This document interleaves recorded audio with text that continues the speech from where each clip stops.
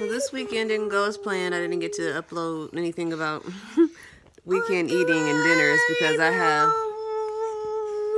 a weak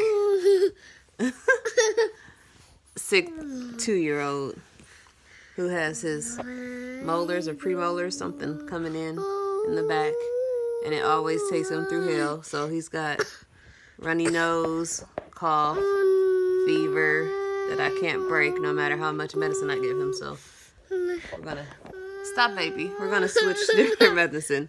Sorry, this video is gonna be terrible, but hey, it's the life of my motherhood, or it's my motherhood at least. Baby, that hurt.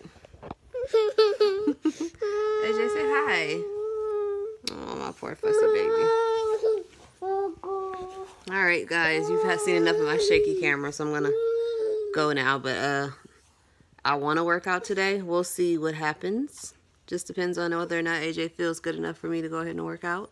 Here's Bella again. She's got a little bit of a stuffy nose on top of that.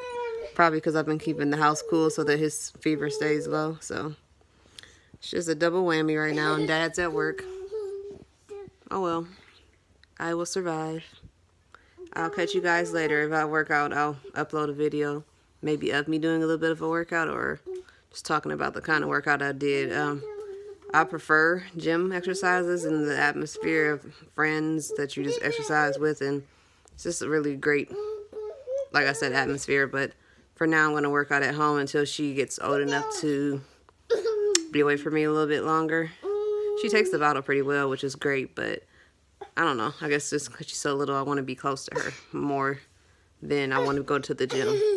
So maybe AJ will work out with me. You want to work out with mommy? You want mommy to stop talking? Give me a kiss. Give me a kiss. Bye-bye.